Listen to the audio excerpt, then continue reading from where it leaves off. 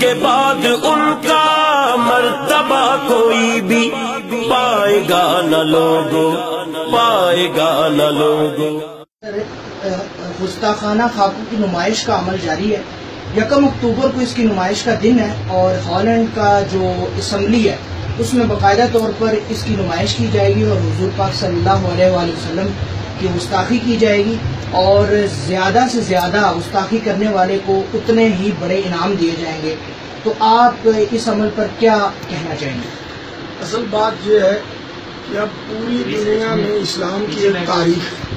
حضور نبی کریم صلی اللہ علیہ وسلم سے لے کر، کیونکہ ہمارے اکابرین اور صحابہ کا جو مذہب ہے کہ گستاخی کرنے والے کی سزا قتل ہے۔ ہم ہالینڈ کے جو لوگ بھی اس میں ملوث ہیں۔ جہاں بھی ان کے سفارت خانے ہیں، ہم انہیں قتل کریں گے۔ ہائی لینڈ کے کوئی بندہ دنیا میں کسی بھی مسلمان کو مل گیا۔ ہم انہیں قتل کریں گے اور اس کی سزا ہی قتل ہے۔ اور ہماری آئی لینڈ کے ساتھ پوری دنیا میں جنگ ہے۔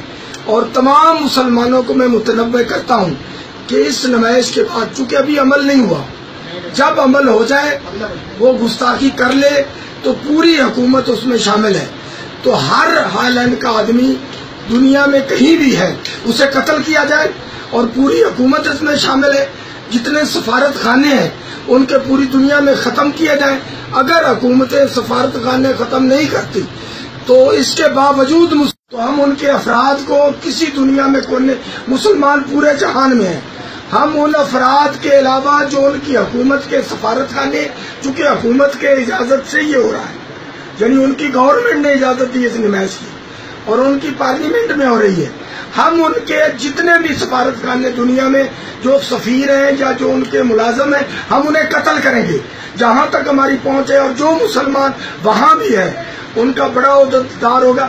اگر وہ نہیں جرم کریں گے تو کوئی سزا نہیں۔